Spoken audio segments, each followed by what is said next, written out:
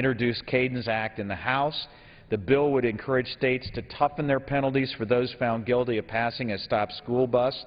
I'm honored to have the subcommittee chairman as a co-sponsor of that legislation. I hope that my colleagues will support this amendment, and I urge them to work to pass both these bills to make it safer for our kids to get to school and back. And with that, I yield back. The gentleman yields back. For what purpose does the gentleman from Iowa rise? Seek I I recognition. think the chairman would like to strike the last word. Gentleman's recognized for five minutes. I thank the chairwoman. Uh, I appreciate the intent of the amendment of the gentleman from Iowa. The gentleman uh, introduced legislation that would require states to enact harsher penalties for reckless drivers who pass stop school buses, and this amendment complements that legislation and I think sends a, a very, very important message.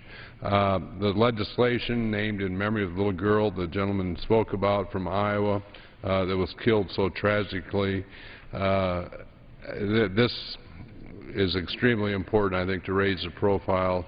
I would hope that the authorizing committee in conference on the highway bill would take this into consideration and, and act on this, uh, this very provision. Uh, as a co-sponsor of the act, I commend the, the gentleman's effort and uh, would accept the amendment. So, thank the gentleman. The gentleman yields back. The question is on the amendment offered by the gentleman from Iowa. Those in favor say aye. Those opposed say no. In the opinion of the chair, the ayes have it. The amendment is agreed to.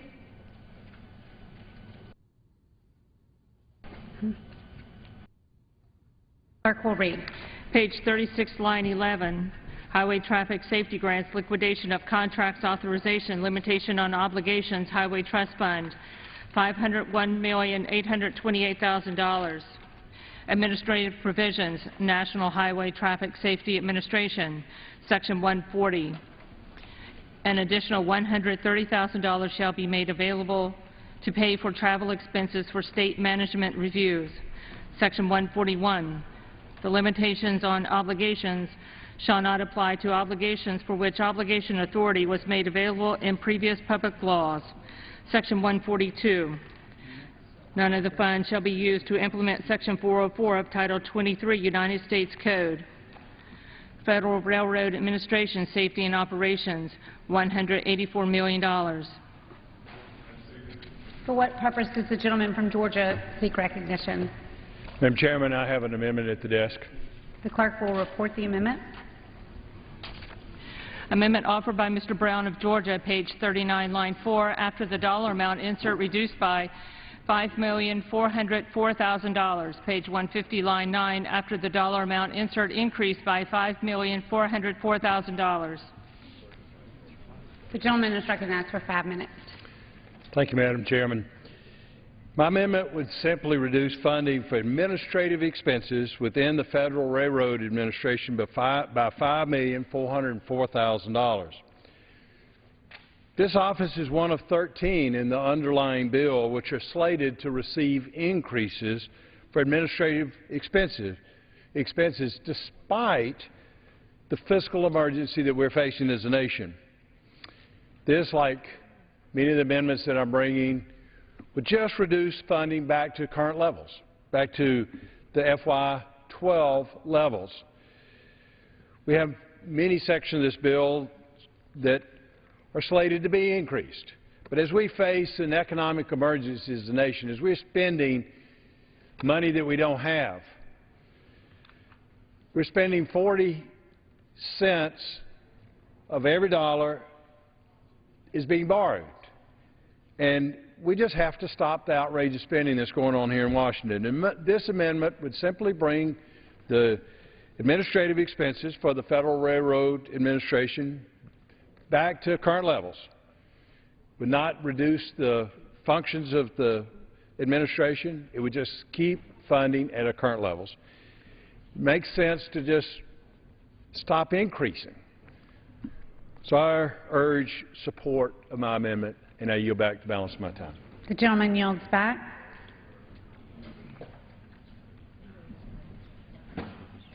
For what purpose does the gentleman from Iowa seek recognition? I I move to strike the last word. The gentleman is recognized for five minutes. I thank the gentlewoman, uh, Chairman. Uh, I must oppose the gentleman's amendment. Uh, This would not allow the Federal Rail Administration to hire additional safety inspectors and fully implement risk reduction, uh, the risk reduction program. These investments have a proven record to reduce the amount of crashes on our nation's railways. While we appreciate the gentleman's concern over the debt, this is a- an arbitrary way to budget and negates months of work in this committee to try and determine the proper funding levels for these different uh, functions. Uh, The bill already cuts $4 billion from 2012, uh, which is a very fiscally responsible level, and I would urge a no vote uh, on the amendment, and I would yield back. The gentleman yields back. The question is on the amendment offered by the gentleman from Georgia. Those in favor say aye. Those opposed say no. In the opinion of the chair, the noes have it. The amendment is not agreed to. Madam Chair, Gentleman from Georgia. ask for the yeas and nays. The gentleman asked for a recorded vote. Yes, Madam Chairman, I ask for a recorded vote.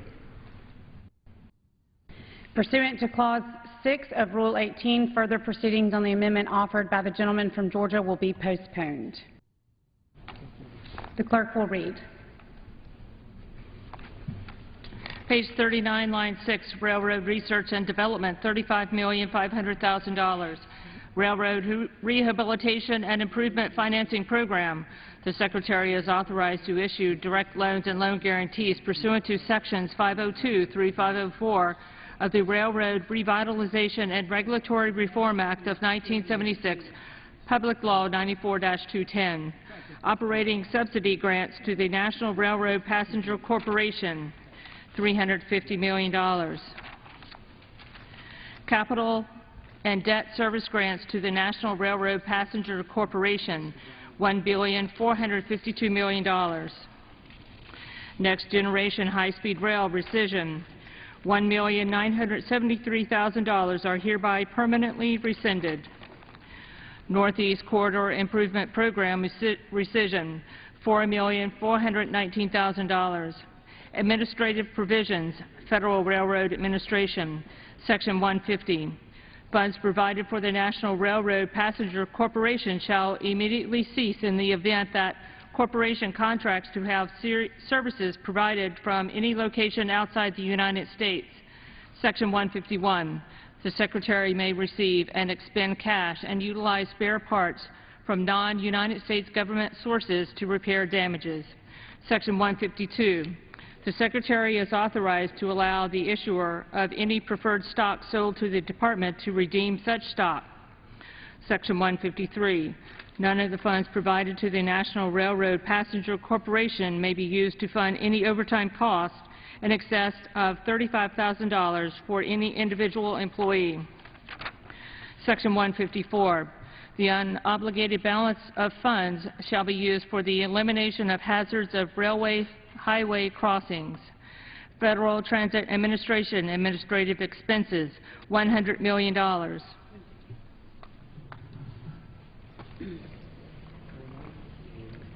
For what purpose does the gentleman from Illinois seek recognition? Madam Chair, I move to strike the last word. Gentleman is recognized for five minutes. I rise to engage in a colloquy with my good friend from Iowa, distinguished Chairman Mr. Latham. First, I'd like to acknowledge the difficult and challenging job the Chairman has had in crafting this bill. I'd also like to uh, acknowledge all the work of um, Ranking Member Olver, not just this year, but uh, in years past here in Congress, and especially on this, as head of this committee. In 2008, Congress passed a mandate requiring commuter and freight railroads to implement positive train control by 2015. While PTC provides a very significant safety improvement, it is also very costly. Federal Railroad Administration has estimated that the total cost for PTC will be $13.2 billion industry-wide. Recognizing costs, when we were working on the bill to implement the mandate, I was able to add language authorizing the Rail Safety Technology Grant Program at $50 million per year.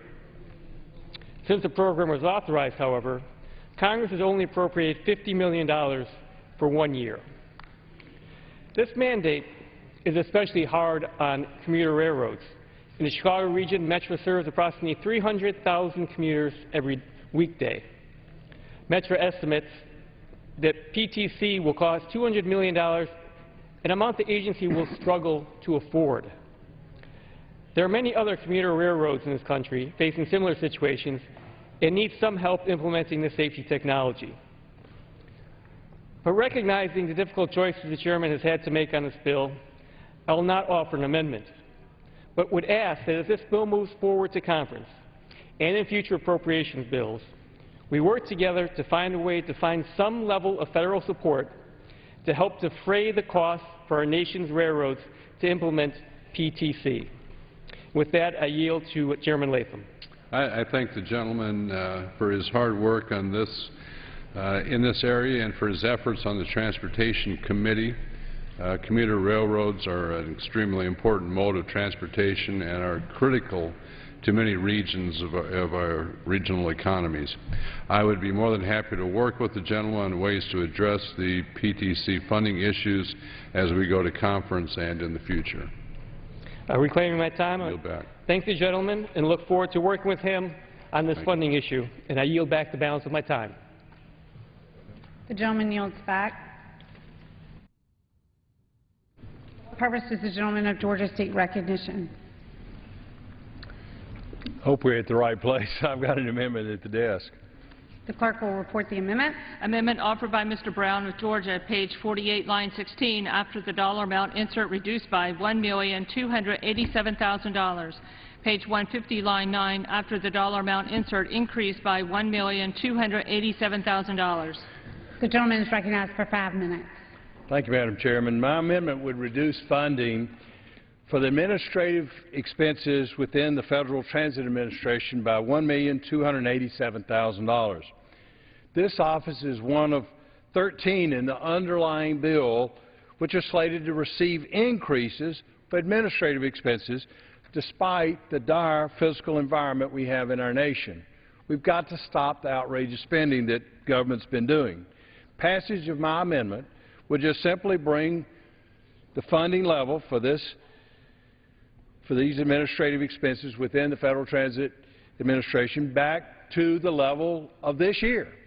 It would just reduce the increase back to current levels. I support my amendment, and I yield back the balance of my time. The gentleman yields back. Madam Chairwoman, Gentleman from Massachusetts is recognized. um, I claim time in opposition to this amendment. The gentleman is recognized for five minutes. What I understand of this amendment is that the, um, the gentleman from Georgia is now, uh, is now removing a little over a mil, uh, million dollars, a million three hundred thousand or thereabouts, from the hundred million that is uh, assigned by, the- by, the, by Mr. Latham's bill uh, for the administrative expenses of the FTA.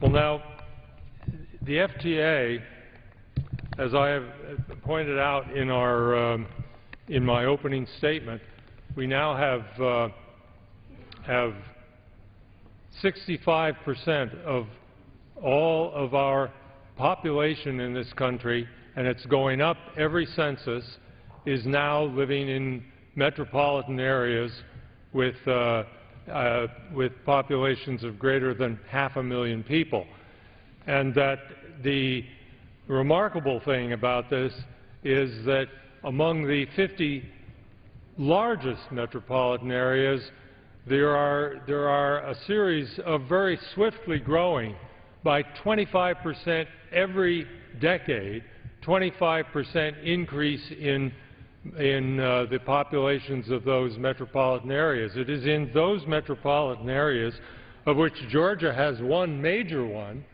obviously, the whole Atlanta area, which is growing by more than 25 percent every decade, and, uh, and, and the gentleman is trying to, to uh, constrain the number of dollars that FTA, which is the agency that provides the, the uh, services, that provides the development of transit services for all of these major metropolitan areas around the country, I think that this is an exceedingly modest amount of increase uh, that has been, been pr- proposed, and uh, virtually everybody has metropolitan areas that are in need of this uh, uh, enormous increase in investment for, uh, for transit services, for public transportation services, whether they be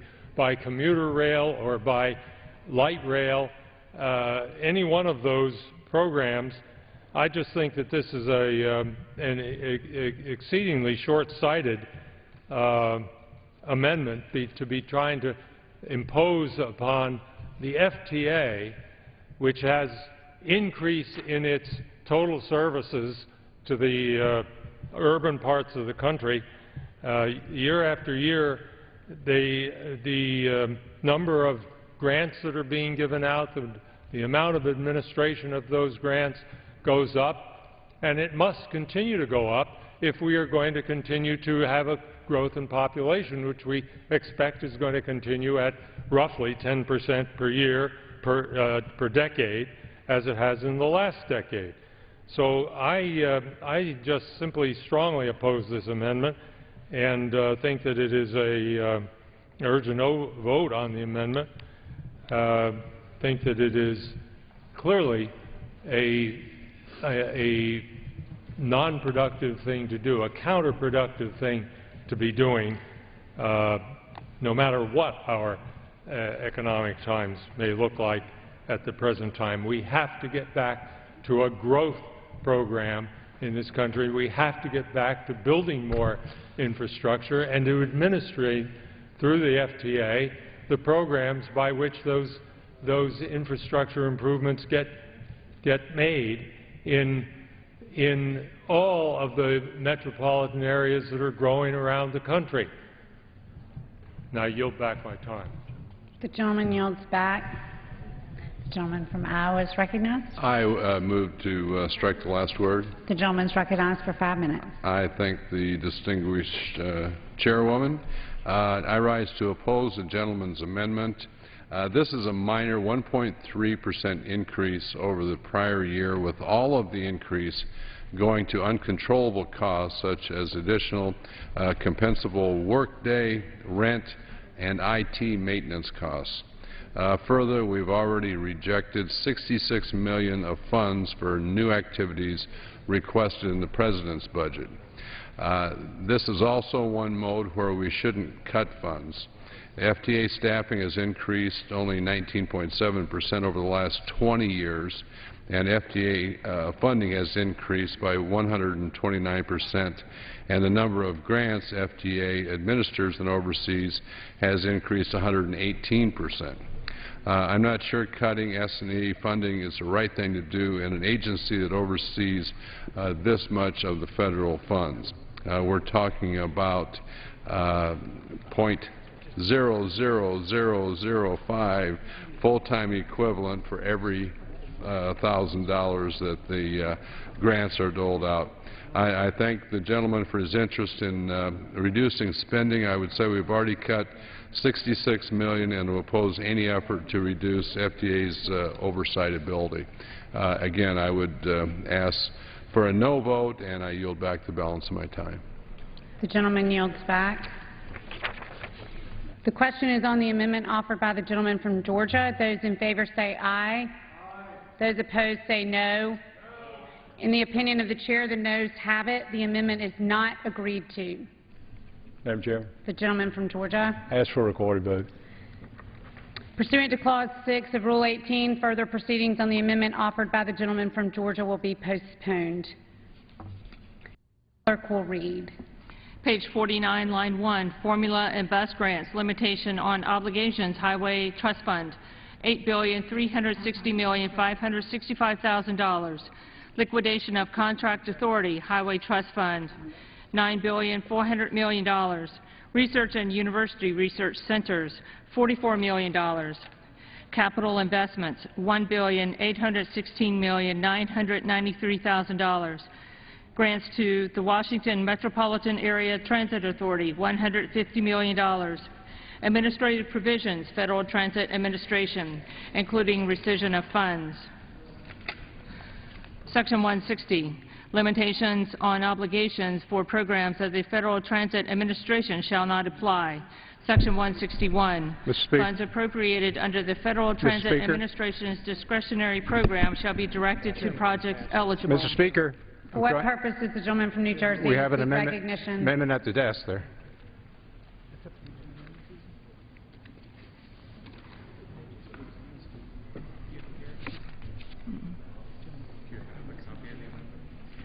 The gentleman will kindly send his amendment to the desk. It should be.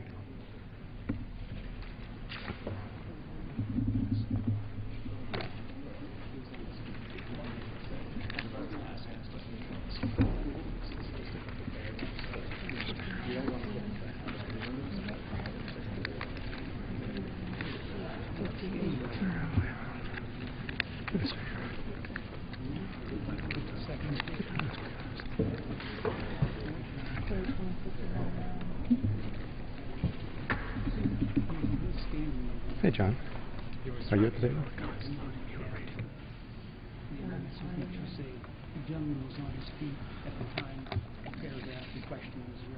The gentleman was on his feet at the time uh, the the paragraph in question was read. The clerk will report the amendment. Amendment offered by Mr. Garrett of New Jersey, page 50, line 18, after the dollar amount, insert reduced by $0. Page 150, line 9, after the dollar amount, insert increased by $150 million. The gentleman is recognized for five minutes. And I thank the Speaker. So it is the uh, desire of this House and members on this side of the aisle that uh, we put an end to uh, put an end to earmarks, and uh, yet some might say that in the uh, this bill there contains one $150 million solely for the benefit of one particular project, the Washington Metropolitan Area Transit Authority, or WMATA. Now, this is just one-tenth of the $1.5 billion that Congress intends to spend on the D.C. metro system over a 10-year period. Now, this may or may not be considered uh, your average earmark. You know, the Heritage Foundation has dubbed this, according to Heritage, the largest one in American history, the largest earmark in American history. Why? Well, the amendment is simple before us. It would eliminate this subsidy to WMATA that re received ever since just back in 2008. So at a time of record budget deficits and debt, the American people cannot afford to provide a special subsidy, especially when it takes into consideration the fact that the D.C. metro area already receives, it already received funds from several different federal transit programs. And given the performance of this agency, I really find it amazing. I find it astounding that this year the American people should be expected to give them, well, another $150 million of their hard-earned money. In addition to the daily service interruptions, the lax management, and the general poor performance we're all familiar with, Metro has a significant record of wasteful spending. In 2005, the Washington Post reported that Metro spent $382 million to rebuild cars, only to have them break down more often than those that weren't overhauled. And the Post also pointed out that when senior agency attorneys wanted two new window offices, well, they spent $270,000 just to accommodate them. And why not? It's just taxpayers' dollars from across the rest of this country. You know, earlier this year it was reported that the Office of Inspector General uncovered several personnel and unwarranted expenses on Metro's credit cards, such as $2,000 worth of gift cards and three camcorders and valued at 700 bucks and even $180 just for headphones alone. So, Mr. Speaker, we cannot afford to keep pouring our money into an agency that really clearly hasn't done its job of cleaning its own house. And finally, it is curious to note that the $150 million this bill provides for is $15 million more, $15 million more than the President requested in his budget. Do we really want to be outspending the President of the United States in this area? So, finally, hardworking taxpayers should not be forced to subsidize a transportation system that has basically failed over the years to get its own fiscal house in order. We owe it to the American people to do better than that. And with that, I yield back. Gentleman yields back. The gentleman from Massachusetts is recognized, or what, for what reason does the gentleman seek recognition? Uh, I, uh, I claim time in opposition to the amendment. The gentleman is recognized for five minutes. Well, uh, Madam Chairwoman, the, um, the amendment that is offered here in this instance is really quite a curious one, it seems to me. The, uh, the gentleman offering the amendment is from New Jersey. The, uh, the largest, the largest overall metropolitan system with its, with its commuter rails, with its expansions needed, always repairing, always upgrading, always e- expanding the systems that, that uh, serve the whole New York metropolitan area, is, serves northern New Jersey, which is part, partly serves people in its district. Now, the amendment that is being proposed is uh, an amendment that affects WMATA, the Washington, Virginia, Maryland metropolitan area, which is our sixth largest metro area with somewhat over 5 million people. I don't know exactly, though my staff here is trying to figure it out, how many riders there are in WMATA each year. The, uh, the expenditure under consideration of $150 million a year is fully authorized by the PRIIA Act in 2008, signed by President Bush at that time. And uh, this is about the third or fourth year of the 150 million guarantee, the commitment in the authorizing bill to do the 150 million dollars per year in the whole system, no specific place, not in a specific congressional district, though there are several congressional districts in which WMATA functions. And um, it's matched dollar for dollar. It's 50 percent matching monies that the uh, Maryland and Virginia and D.C. have to match the $150 million along the way. And we do have occasionally safety problems. We have had some crashes here in Washington and some people who have been, uh, who have been injured or killed in those crashes.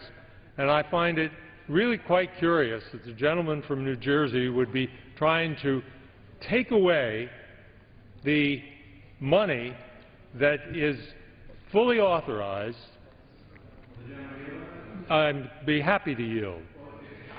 I, find it odd that I'm in the, in the position here of actually defending the President of the United States and defending what his recommendations are in this area, but I gladly do so. The, the President suggested that um, all those factors that you just laid out taken into consideration, it was his opinion that we, are, we should not be spending this full amount of money. It was the President Obama's suggestion that we actually curtail the money. Perhaps Yes. it's a, and All right, reclaiming my time, it has been the position of our subcommittee looking at, realizing that the authorization in the PRIIA Act and the commitments that had been made to this metropolitan area, which many of us and many of our staffs use uh, uh, for their transportation. We have had serious safety problems and uh, serious uh, a serious need has been shown through those safety prob problems for upgrading of the, uh, of the equipment and systems that we use in this area. So I, I don't, uh, I think it is, it is certainly my position, and I think it is the uh, chairman of the subcommittee's position, that this was a choice well made, critically made, with critical thought to, to why this was being done for the, for the safety of people using the WMATA public transportation system So the all gentleman over? Maryland, D.C., and northern, northern Virginia. Well, it- well, the gentleman will yield, then the- question is, are you suggesting that the President does not care for the safety of this administration? Are you suggesting that the President did not give it critical I'm not suggesting any, any such thing. I'm suggesting that this is a legislative position, that this should be done, that it would be agreed to be done, At the, uh, I now have the number of riders. We had 217 million riders in this system, the WMATA system, in 2011. That's a huge number of riders, and, uh, and they deserve some, ac some activity and some consideration for the safety of the WMATA system. The gentleman's time has expired. Gentleman from Virginia, what, for what purpose does the gentleman from Virginia seek recognition? I rise in opposition to the amendment. The gentleman is recognized for five minutes. Uh, This language uh, came about as a result of our former colleague, uh, Tom, Tom Davis. There are many ideas behind it. I didn't know the amendment was coming up. I think that's part of the problem around here on the pre-filing, just to let members know what is coming up so they know, but I did see it, I ran over.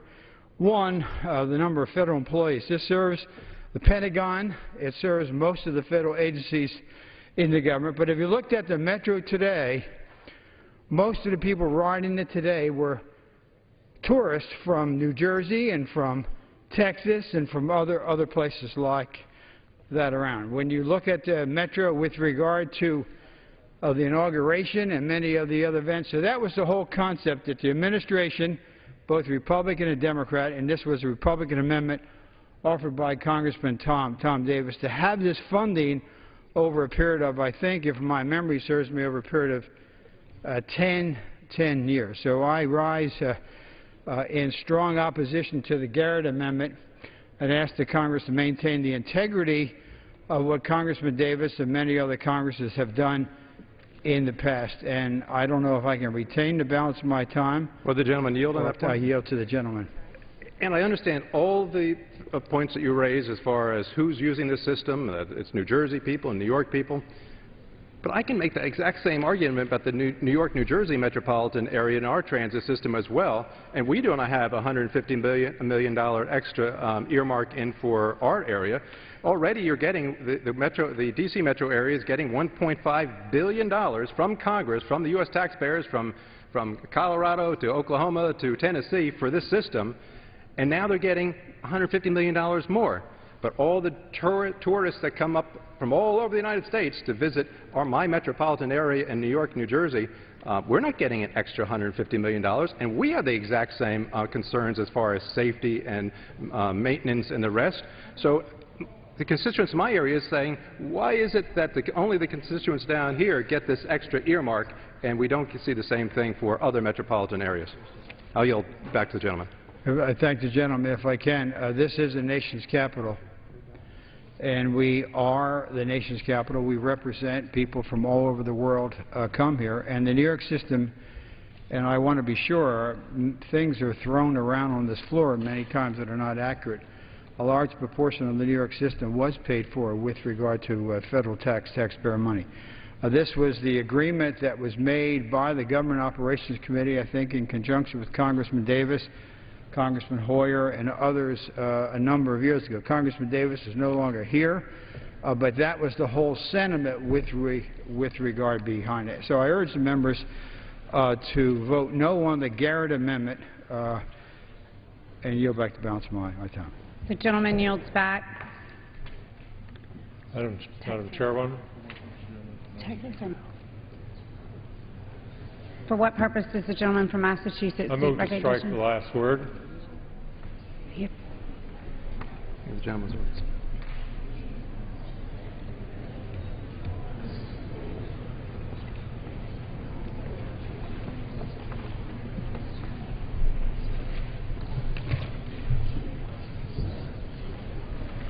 The gentleman is recognized for five minutes.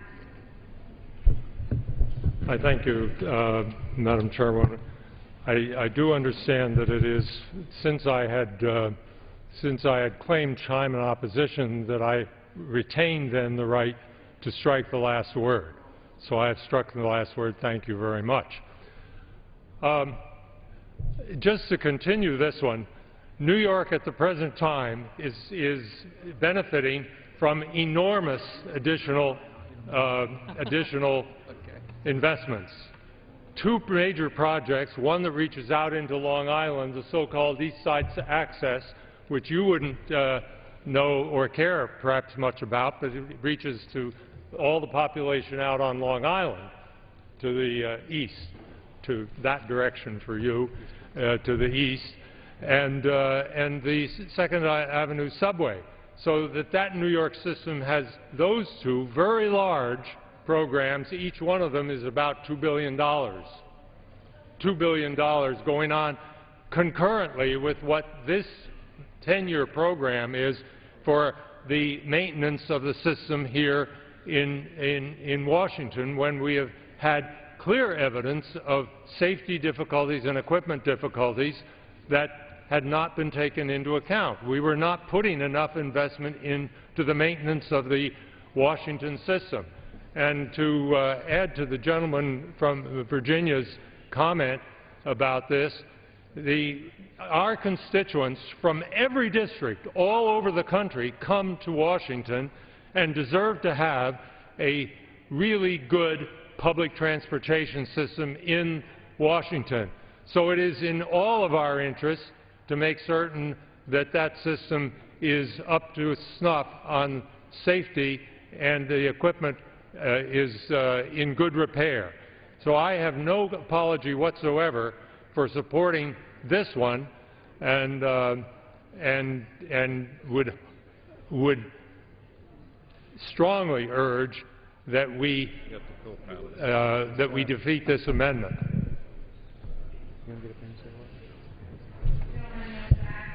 For what purpose does the gentleman from Texas seek recognition? To strike the last word. The gentleman is recognized for five minutes. Madam Chairman, I want to be sure to point out to the House that the account has, is uh, authorized under the Passenger Rail Improvement Act. This uh, money has to be, in order for the uh, metropolitan D.C. area to receive the funds, uh, Virginia, Maryland, and the District of Columbia have to match the money, uh, which certainly helps. And I also note that the um, the uh, committee has included language which is very important that now local entities have to provide, uh, that the federal government uh, cannot provide uh, more than 60 percent. Is that, I believe, correct? Uh, for the first time. That's important that the local communities do their, their fair share. And all of the money in this, uh, in the um, Passenger Rail Improvement Act for the D.C. area has to be used for safety and capital improvements only. They can only use the money to buy new cars and equipment to improve the safety of the system.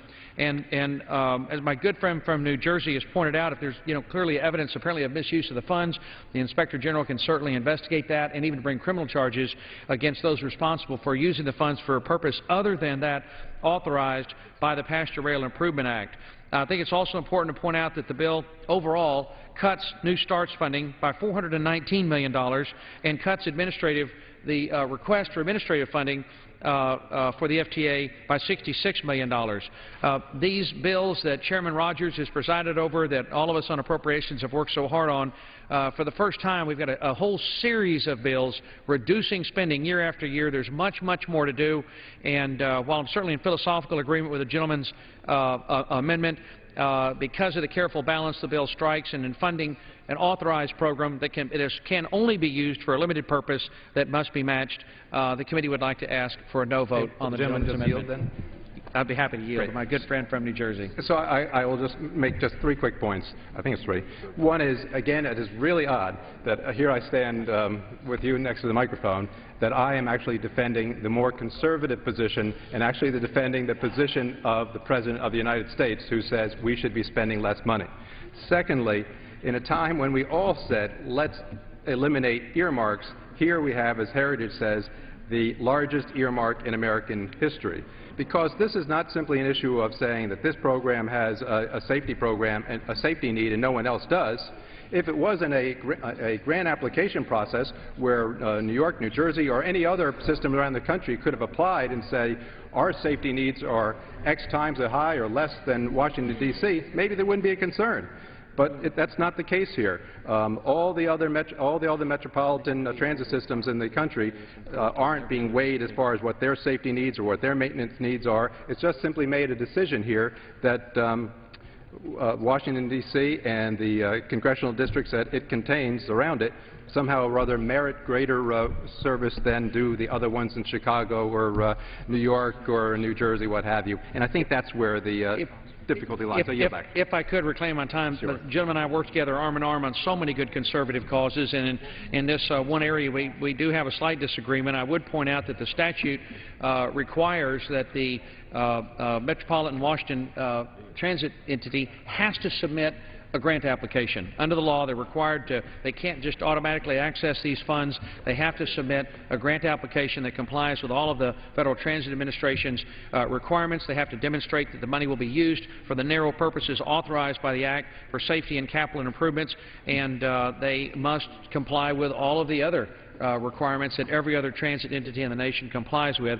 And for all of those reasons, to keep the careful balance the committee has struck, the overall reduction in funding, uh, the committee would uh, ask the, for a no vote on this amendment. I yield back my time. The gentleman yields back. The question is on the amendment offered by the gentleman from New Jersey. Those in favor say aye. Those opposed say no. In the opinion of the chair, the noes have it. The And amendment is not agreed to. The gentleman from New Chair, I'd like Jersey. to uh, record it. Pursuant to Clause 6 of Rule 18, further proceedings on the amendment offered by the gentleman from New Jersey will be postponed. The clerk will read. Page 51, line 7, Administrative Provisions, Federal Transit Administration, including rescission of funds. Section 160, Limitation on obligations programs for the Federal Transit Administration shall not apply. Section 161, Funds appropriated under the Federal Transit Administration's discretionary program shall be directed to projects eligible. Section 162, Funds appropriated before October 1, 2012 that remain available may be transferred. Section 163, funds made available for new fixed guideway system projects may be used during this fiscal year. Section 164, unobligated funds that are available for realloc- reallocation shall be directed to projects for the purposes for which they were originally provided. Section 165, the Secretary may use for program management activities 1.5 percent of the amount made available to carry out Section 5316 of Title 49 United States Code. Section 166, none of the funds made available shall be available to carry out 49 U.S.C. 5309M6B and C. Section 167, none of the funds made available shall be used to enter into a full funding grant agreement. Section 168, the Secretary shall conduct a former adjudication in accordance with Section 554 of Title V United States Code. Section 169, the Secretary may consider the cost and ridership of any connected project. Section 169A, $70,867,394 are hereby permanently rescinded. Section 169B, none of the funds may advance a new capital project for the Metropolitan Transit Authority of Harris County, Texas.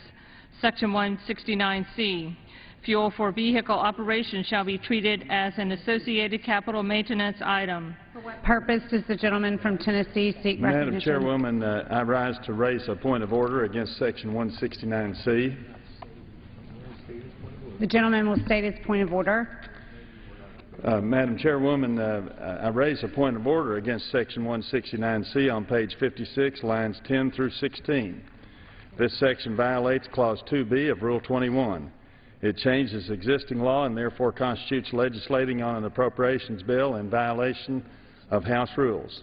I would also note that the issue of when transit agencies can use federal transit funds for operating expenses is part of conference negotiations on the highway bill, which hopefully will be resolved at the, by the end of this week. The conference report will include a better, more targeted policy on this issue, and so I request a, a ruling in favor of this point of order.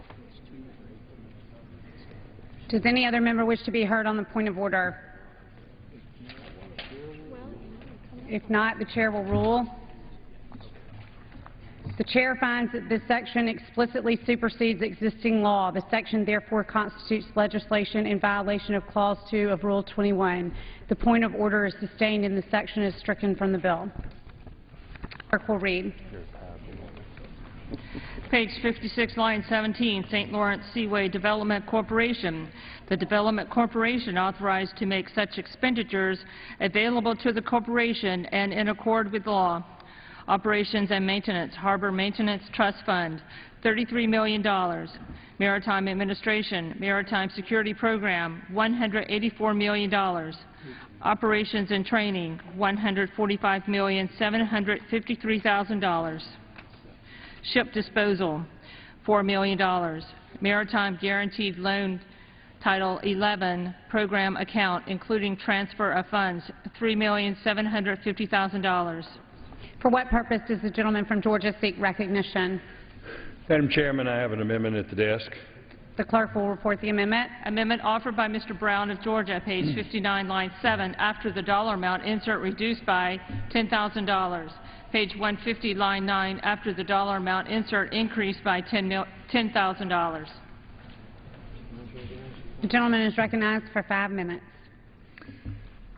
Madam Chairman, my amendment would reduce funding for the administrative expenses of the Maritime Guaranteed Loan Program by $10,000, and that's all. That doesn't sound like much, but it freezes spending at the current levels. I believe very firmly that we, we ought to cut spending in this House. We've cut our MRAs, our own operating accounts for our own administrative expenses by 11 percent. And what this amendment does is just freeze it at the current fiscal year 12 levels. And uh, I think that this is, though it's a minor amount of money to most folks, still $10,000 is a lot of money to this old Georgia boy. So I encourage adoption of my amendment, and I yield back. The gentleman yields back.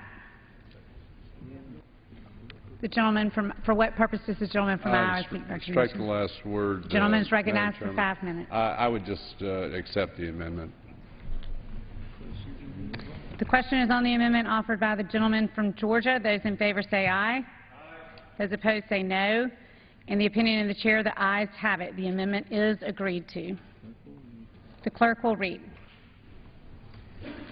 Page 59, line 10, Administrative Provisions, Maritime Administration, Section 170. The The administration is authorized to make necessary necessary repairs involving government property.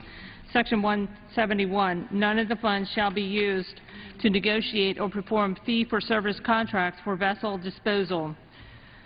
Pipeline and Hazardous Material Safety Administration, Operation Expenses, Pipeline Safety Fund, including transfer of funds, $23,030,000.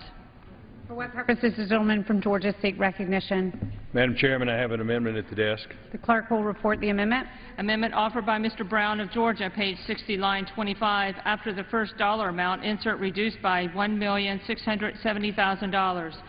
Page 150, line 9, after the dollar amount, insert increased by $1,670,000. The gentleman is recognized for five minutes.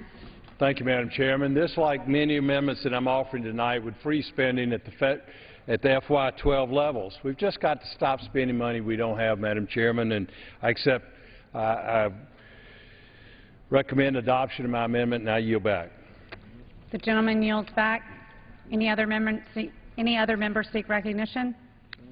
The gentleman from Massachusetts, Uh, Madam Chairwoman, I, uh, I claim time in opposition.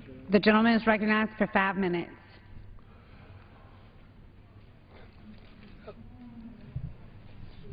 It was, um, what we're talking about here is pipeline safety inspectors. The increase in pipeline safety inspectors in a situation, our, our agency, what is the agency?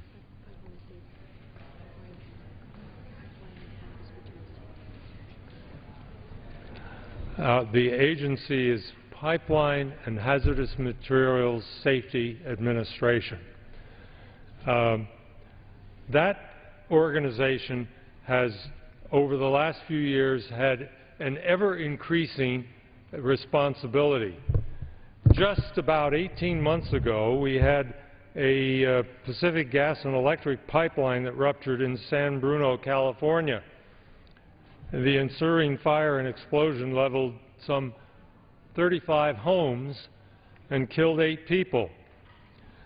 Uh, The National Transportation Safety Board's investigation found that uh, Pacific Gas and Electric's poor quality control and integrity management systems contributed to the cause of the pipeline rupture. It's a prime example of why we need strong enforcement and oversight of the nation's ever, ever expanding, really already vast, but ever expanding pipeline system.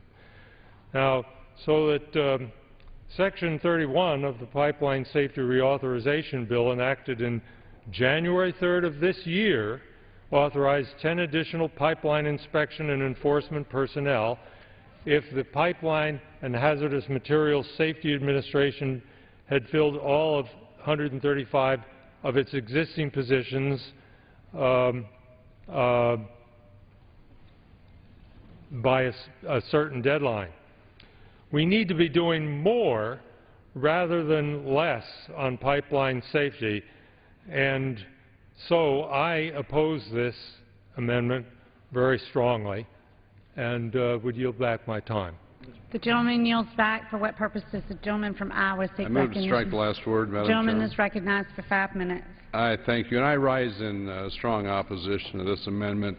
Uh, This program was uh, authorized just last year. The funds that are being cut here are for safety inspectors, and we've had explosions in Iowa. The gentleman referred to very tragic uh, pipeline explosions elsewhere around the the country. Uh, We have seen a number of these uh, explosions, incidents. Uh, We simply cannot compromise uh, safety in this regard. Uh, There's a, it's a small increase and consistent with the uh, uh, authorization that was just passed by this Congress. Uh, I, I can tell you from personal experience in a little town of Alexander, uh, about five miles outside of town, it's been several years ago, but uh, a pipeline exploded. It uh, basically, we had to evacuate about a 15-mile area, and uh, it was uh, a huge issue. Fortunately, no one was killed in that uh, explosion, but I'll just say that this is a very important function uh, that we need to have these inspectors. We need to have a focus on pipeline safety, and so, again, I would recommend a no vote on this amendment, and I yield back. The question is on the amendment offered by the gentleman from Georgia. Those in favor say aye. Aye. Those opposed say no. In the opinion of the chair, the noes have it. The amendment is not agreed to. The gentleman from Georgia. Ask for a recorded vote. Pursuant to Clause 6 of Rule 18, further proceedings on the amendment offered by the gentleman from Georgia will be postponed. The clerk will read. Page 61, line 5, hazardous materials, $42,546,000, of which $1,725,000 shall remain available until September 30, 2015. Pipeline Safety, Pipeline Safety Fund, Oil Spill Liability Trust Fund, Pipeline Safety Design Review Fund, $111,252,000. Emergency Preparedness Grants, Emergency Preparedness Fund, $188,000 to remain available until September 30, 2014. Research and Innovative Technology Administration, Research and Development, $13,500,000. Office of the Inspector General, Salaries and Expenses, $84,499,000. Surface Transportation Board, salaries and expenses, $31,250,000. For what purpose does the gentleman from Georgia seek recognition? Madam Chairman, I have an amendment at the desk. The clerk will read the amendment.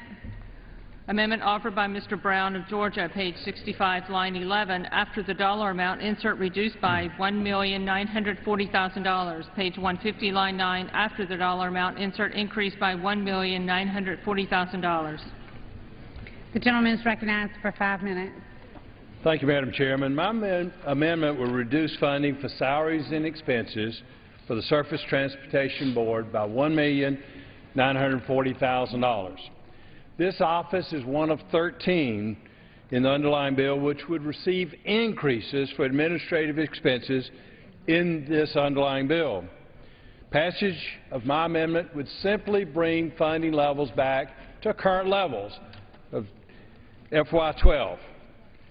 Madam Chairman, we are spending money we don't have. We have reduced our own operating expenses as members of the House by 11 percent, over 11 percent.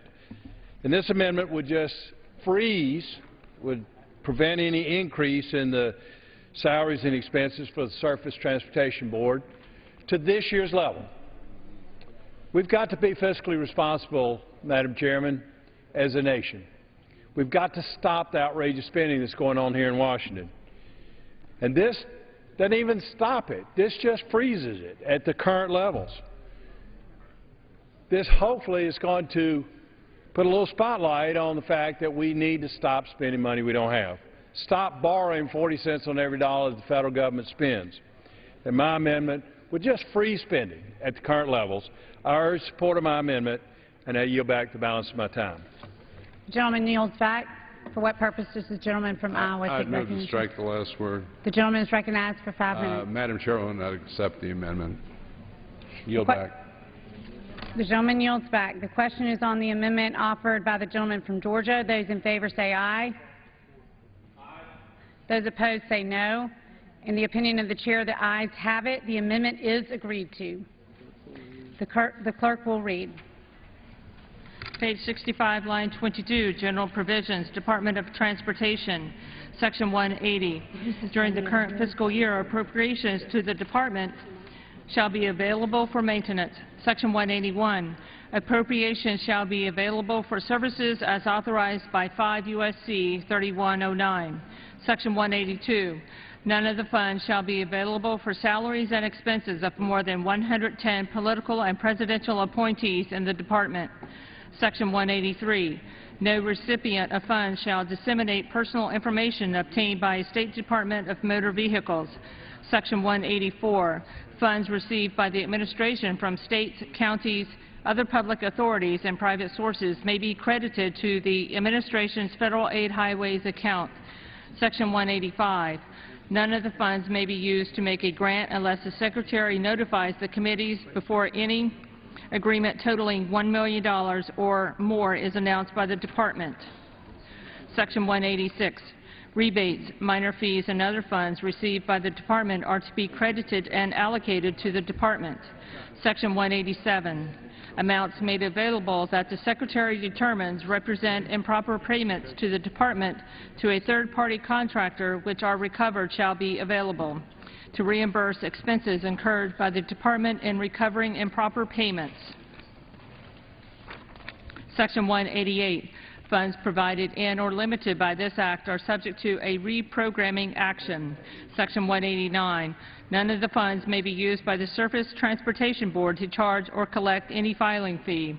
Section 190, funds appropriated may be obligated for the costs related to assessments or reimbursable agreements. This title may be cited as the Department of Transportation Appropriations Act 2013. Title II, Department of Housing and Urban Development, Management and Administration, Administration, Operations and Management, $518,068,000. For what purpose does the gentlelady from California seek recognition? Madam Chair, I have an amendment at the desk. The clerk will report the amendment. Amendment offered by Mrs. Capps of California, page 71, line 19, after the dollar amount insert reduced by $10 million. Page 72, line 3, after the dollar amount insert reduced by $2 million. Page 72, line 8, after the dollar amount insert reduced by $5 million. Page 72, line 20, after the dollar amount insert reduced by $3 million. Page 102, line 2, after the dollar amount, after the first dollar amount, insert increased by $10 million. The gentlelady is recognized for five minutes. Madam Chair, this is a straightforward amendment to increase funding for the HUD Housing Counseling Assistance Program. As we all know, the foreclosure crisis continues to ravage our families in many parts of the country. This is a problem in my home state of California, but also in many other states. Nevada, Florida, Ohio, Illinois, and Georgia all have foreclosure rates well above the national average. There are many efforts aimed at solving this crisis, but local housing counseling agencies have proven to be among the most effective tools we have to help struggling families stay in their homes during these tough times. These local nonprofits are filled with dedicated staffs who work tirelessly to help owners, homeowners make informed decisions and stay in their homes.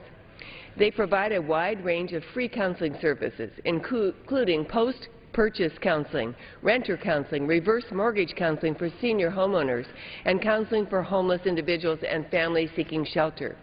And they depend on federal funding from HUD's Housing Counseling Assistance Program to provide these services. Every dollar allocated to these local organizations helps to ensure that all homeowners in financial distress may have a trusted third-party resource to turn to free of charge. Recognizing the value and effectiveness of housing counselors, Congress more than doubled funding for this critical program from 2007 to 2010 to help combat the rapidly expanding foreclosure crisis, and that money was money well spent. Local counseling agencies use the funding to create jobs by hiring additional counselors and expanding their services to meet the rapidly growing demand created by the recession. Sadly, however, funding for housing counseling assistance was abruptly eliminated in FY 2011. This was a devastating blow to these local organizations, resulting in layoffs and, more important, elimination of a valuable and much-needed service to homeowners who are in trouble. Thankfully, we were able to restore some of this funding last year, and I thank the Chairman and the Appropriations Committee for maintaining last year's funding level in the bill before us. But frankly, this is not enough. The foreclosure crisis is far from over, and the need for this funding has never been greater. Just last month, one in every 639 houses nationwide received a foreclosure notice. That's why my amendment would increase funding for HUD housing counseling assistance by $10 million, matching the President's request of 55 million. The amendment is fully paid for with a $10 million reduction in the administration's operations and management account. This additional funding will make a tremendous difference in the lives of middle-class Americans in my district and across this country who are desperately trying to stay afloat. In my district on the central coast of California, where the foreclosure rate remains well above the national average, every little bit makes such a difference. I know my lo local counseling, uh, housing counselors, like SurePath Financial, like People's Self-Help Housing and Cabrillo Economic Development. They're going to be able to help many more of my constituents with this extra funding. I know some states have been harder hit than others by the foreclosure crisis, but the benefits of counseling extend to all homeowners, not just those facing foreclosure. In a recently released study, HUD examined both families seeking to purchase their first homes and those struggling to prevent foreclosure. In the pre-purchase counseling study, HUD found that of the, those participants that became home, homeowners, all but one of them remained current on their mortgage payments after 18 months. This study shows that housing counseling is not only helping address the current foreclosure crisis, it's also helping prevent future crises by helping homeowners find mortgages that they can afford and fully understand. When homeowners understand their mortgage and properly plan, they are much more likely to make their payments on time and avoid foreclosure in the future. And the Housing Counseling Assistance Program helps to make that happen. This program has broad national support from respected nonprofits like Catholic Charities, National Council on Aging, and the National Council of La Raza, and for-profit industry groups like the Mortgage Bankers Association. And it should also have broad bipartisan support here in the House as well. I'm willing to bet that most of my colleagues in this House have referred constituents in need of help to their local housing counseling agencies. I know I certainly have. I have no reservations about referring my constituents to local HUD-certified counseling housing counselors because I know they will receive excellent advice and guidance. But as the foreclosure crisis has dragged on, demand for help has far exceeded the resources available. My amendment will not immediately solve this enormous problem, but it will certainly help. This shouldn't be a partisan issue. I know we must make tough choices to balance our budget, but we must also make smart choices. Voting for my amendment is a smart choice. It's also the right choice for Americans who are still struggling to stay afloat. And so I urge my colleagues to support our lo local housing counselors and vote yes. The gentlelady's time has expired. For what purpose does the gentleman from Iowa seek recognition? I uh, rise in opposition to the gentlelady's amendment. The gentleman is